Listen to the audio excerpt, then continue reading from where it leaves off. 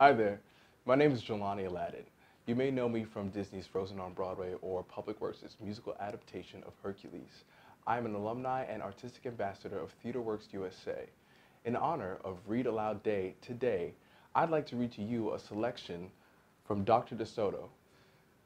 Dr. De Soto refused to treat animals dangerous to mice, and it said so on his sign.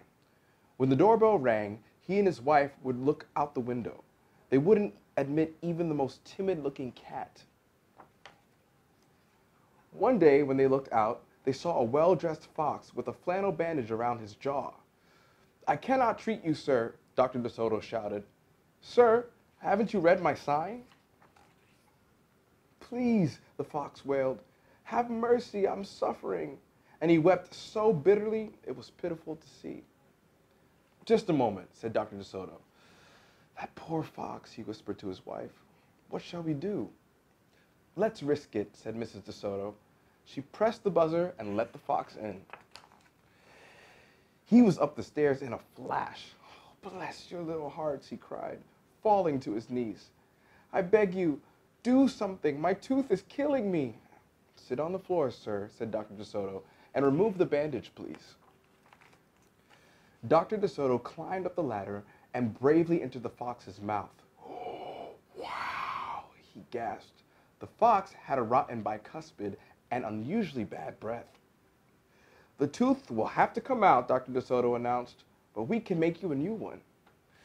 Just stop the pain, whimpered the fox, wiping away some tears. Despite his misery, he realized he had a tasty little morsel in his mouth, and his jaw began to quiver. Keep open, yelled Dr. De Soto. Wide open, yelled his wife. I'm giving you gas now, said Dr. De Soto. You won't feel a thing when I yank that tooth. Soon, the fox was in dreamland. Mmm, yummy, he mumbled. How I love them raw, with just a pinch of salt and a dry white wine. They could guess what he was dreaming about. Mrs. De Soto handed her husband a pole to keep the fox's mouth open. Dr. De Soto fastened his extractor to the bad tooth. Then he and his wife began turning the winch.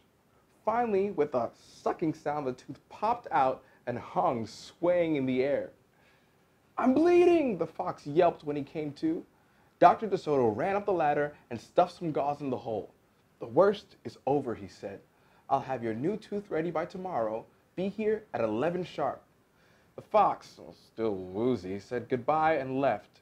On his way home, he wondered if it would be shabby of him to eat the De Sotos when the job was done.